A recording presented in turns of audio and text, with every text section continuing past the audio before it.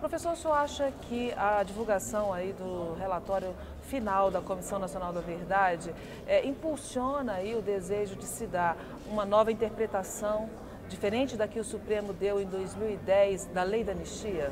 Eu digo assim, o Brasil está pagando um preço altíssimo por manter uma posição absolutamente indefensável em qualquer fórum internacional.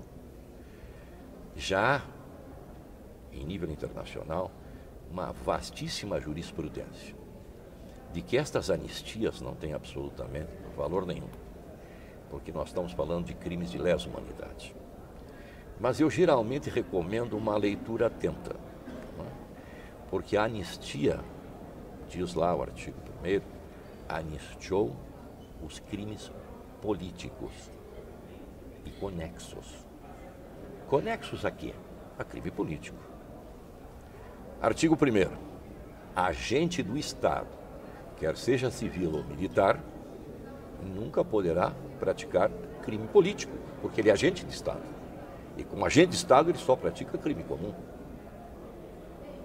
Primeiro aspecto. Segundo aspecto é no parágrafo que diz que os crimes eh, contra a pessoa não estão.